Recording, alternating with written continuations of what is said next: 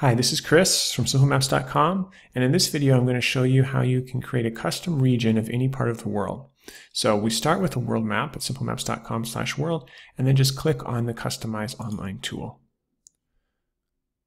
Okay, and then click on Regions. And you can see by default, the world map has um, six different regions uh, that are zoomable. And what we're going to do is, instead of having the map be focused on all the countries, we're going to create a map that only focuses on um, a new region that we create. So to get started, we're going to delete all the regions. So just click on North America, click Control A or Command A, and hit delete.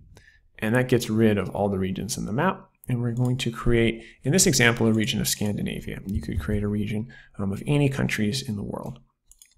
So paste in Scandinavia.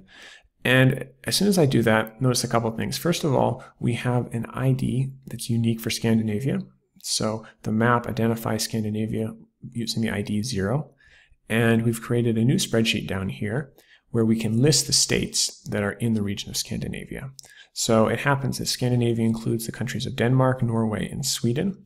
So the two-digit ID for Denmark happens to be DK. And um, if you're this, this is the ISO code, the two-digit ISO code that the country's been given.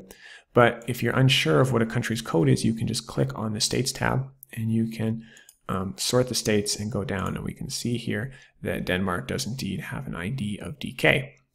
All right, and we're also going to add Norway, which happens to be NO, and Sweden, which happens to be SE.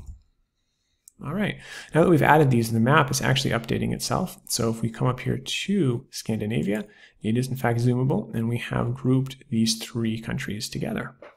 All right, now we also not only want to group these together, but we want to start the map zoomed in on these countries. So we're going to click on the Settings tab, and we just go down to the initial region. Instead of having an initial region of negative 1, which includes all the countries, we're going to use an initial region of 0 which is the ID for Scandinavia. And sure enough, if we go ahead and refresh the browser, you can see when the map's loaded, we load right into um, right into Scandinavia. But we still have the back button and we still have these adjacent countries. So to get rid of those, we, we go to the initial region only row and set that to yes. And all of the adjacent um, countries in our back arrow disappear. So there we go. We, we just have Scandinavia. Um, and at this point, we can go ahead, we'll save the map. It's now saved at a unique URL we can come back to later. Um, we can bookmark the page. You can download the map as a trial, try installing on your website, or you can purchase a license. Um, so thanks for checking out this video. If you have any questions, feel free to shoot us an email.